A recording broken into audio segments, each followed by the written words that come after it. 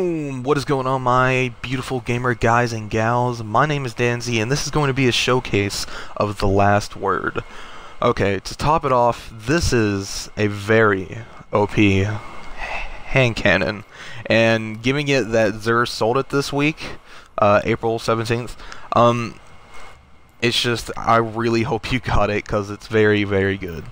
Um, but I'm going to be showing you a clip here, and this is just me in normal Cosmodrome with low levels. I'm level 32, and um, it's just, they're completely obliterated. It's a very OP in Cosmodrome, and it's a must-have in Crucible or anything. Raids, I love it. I love to use it in raids. Um, but as you can see here, they're just one-shots, and it's just crazy.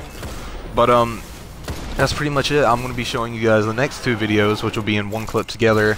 And that segment of the video will be showing you how the hand cannon acts up in Crucible and how it acts up against level 30s.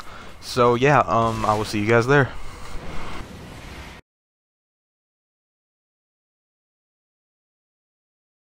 Welcome back, lads. Okay, to jump right into it, um, on the top left, you have me against level 30s in PvE. On the bottom right, you have me versus PvP players in Crucible.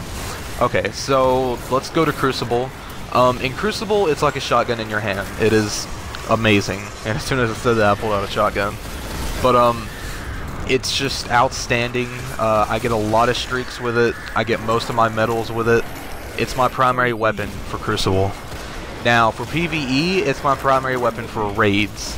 Um, I like to switch it up a little bit whenever I'm just doing missions or nightfalls or something, because, you know, the uh, void burns and other burns and shit like that.